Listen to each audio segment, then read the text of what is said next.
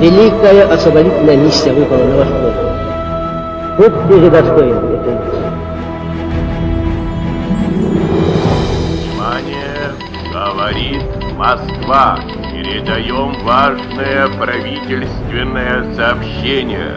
Граждане и гражданки Советского Союза.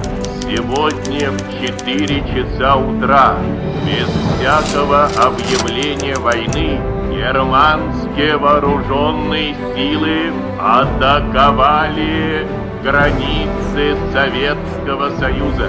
Началась Великая Отечественная война советского народа против немецко-фашистских захватчиков. Победа будет за нами!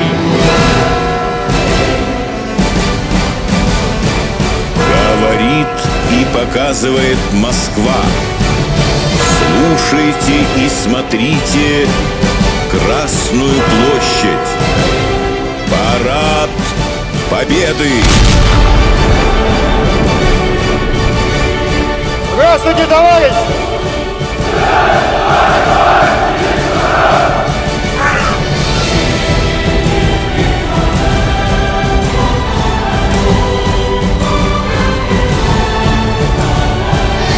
В нашей памяти и в нашем сердце всегда будут места для тех, кто совершил уникальный подвиг во имя нашей Родины, защищая ее ценой своей жизни, своего здоровья, беззаветно служа Отечеству.